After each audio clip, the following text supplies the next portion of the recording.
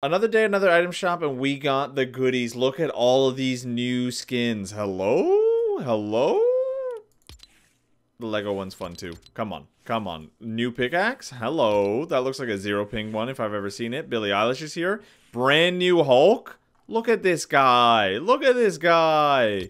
The Lego, they robbed him. This is just Bruce Banner. That's not Hulk. You know what I mean? And then this pickaxe ain't too bad either. And if you're thinking about getting any of it, you already know what you got to do. Am I right or am I right? Let's take a look at the wrap, though, real quick. I am always curious about the wrap. Eh, I don't really like it. It's okay. It's okay.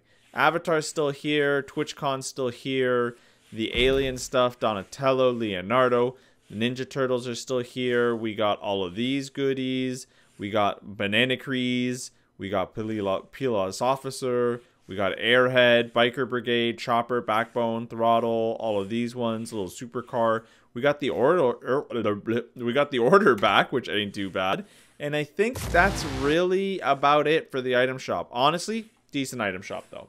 If you ask me, decent item shop. I mean, hey, use code with Marlon, hit follow if you haven't already, and hit subscribe. Thanks.